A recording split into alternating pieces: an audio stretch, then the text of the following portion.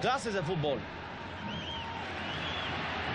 ¿Y dónde está la pelotita? Con ellos, por supuesto. César Villaluz en el pico del área. ¿Qué va a hacer? Razo acompaña el balón. Bueno, le pegó en la cara el Chango Moreno. Todavía metiendo la pierna. No hay falta. Ojo aquí.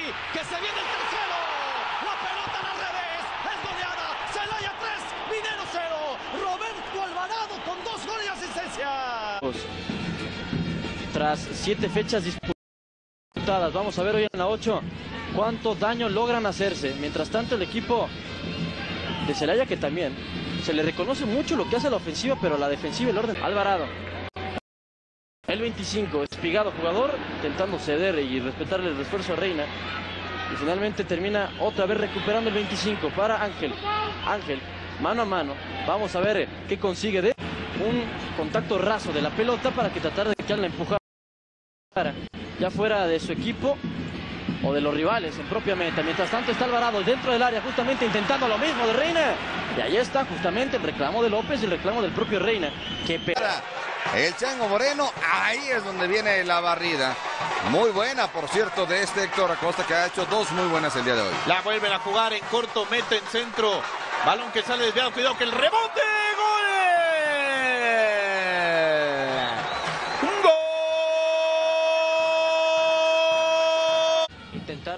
Esfumar el peligro, sin embargo, la posesión de la de Gajo se mantiene en Alvarado, que eh, enganchó y ya está dentro del área. Atención acá, que puede venir el servicio, finalmente el cruce defensivo evita que haya mayores problemas. Por supuesto, muy positivo para la causa local que llegase su cuarto gol, mientras venía el intento Teros también haciendo uso de la pelota parada, sin embargo, queda... Más las bonitas butacas de esta renovado Agustín Corujo Díaz. Había un informe por ahí, honestamente no me acuerdo bien la fuente, pero si es periodística. Ahora lo platicamos. Porque viene una vez más el intento de Celaya dentro del área, saca del servicio. Sin embargo, sin mayor problema Navarro dos veces. Y este hombre tampoco, Vergara. Ya se cambió. ya se cambia de banda, sí, son constantes estos cambios. Y ahora lo hace con Alvarado, cediendo el número 25 que amaga primero y cede en segunda instancia Alvarado intentando triangular y puede ser acá porque viene el remate. No llega a los primeros cinco lugares. Como sea, esto está de regreso en compañía de Iris Cisneros, quien le saluda. Daniel Barba agradece su sintonía, así como Vergara rápidamente intenta ofender, ya lo hace y viene la anotación. ¡Gol!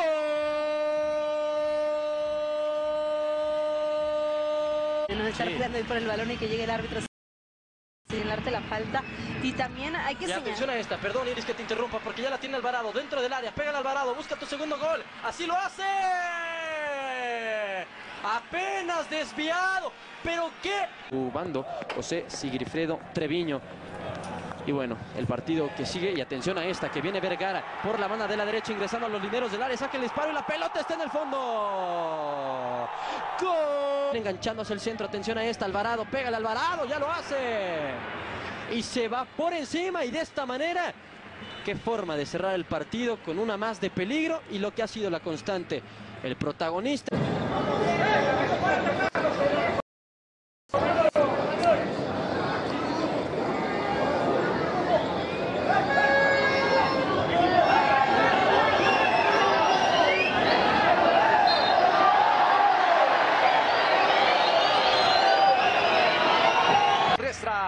Tiene el centro en sus manos. Es mejor dicho, la pelota rechazada y desde ahí Roberto Alvarado, con permiso, Roberto Alvarado abriendo y ahora sí, el centro. No se anima, Dan Reza, el disparo.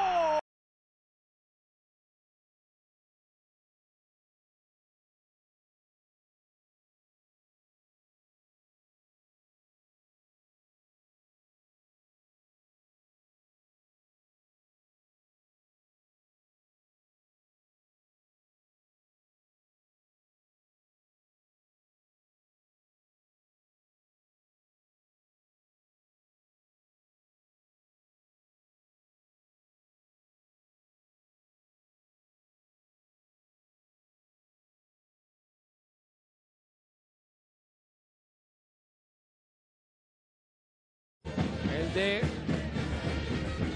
Tecpan Guerrero, 27 años de edad. Luego ahí Alvarado saca el servicio para Vergara, el chileno de primera. Y Lucero a primer poste. Aceves-10, arroba Raúl Chazari. A través de Univisión TDN. Luego Alvarado hace una gran jugada individual. Se llevó en un solo movimiento a Vázquez y también a Santoya. Realmente no tuvo tanta intensidad en el ataque pese a tener superioridad numérica en la cancha. Los toros manejando la pelota, cuidado, ya se le pasó a la defensa. Aquí está el 2 por 0, 2 a 0, 2 a 0, 2 a 0. Sigue, sigue, sigue, sigue, no. Desde la área pequeña, aquí está el gol. Golazo por parte de Celaya. Gran definición, el fogonazo que rasga toda, todita la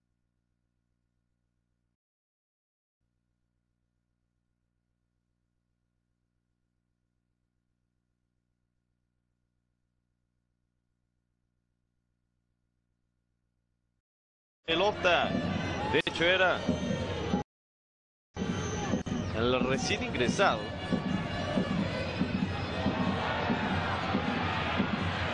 Parece que es Mario Padilla, el hombre que ingresó. Me gusta él, ¿eh? con espacio y a velocidad. Y Vergara, tocándose la derecha, al segundo poste, lo van acompañando, muchachos, pase filtrado, Tesor Moreno, la toca. Estaba en fuera lugar. A los cafetaleros, 1 por 0, 25 unidades. Mineros, los mineros y esa victoria frente a Nicaxa los mantiene dentro de los cuatro mejores del torneo. Celaya que quiere responder rápidamente. Llegando al 30, 15 y un poco más. La pelota al área. Perfecto Leonín Pineda para quedarse con la esférica. O algo que exprese lo que ha sido el primer tiempo.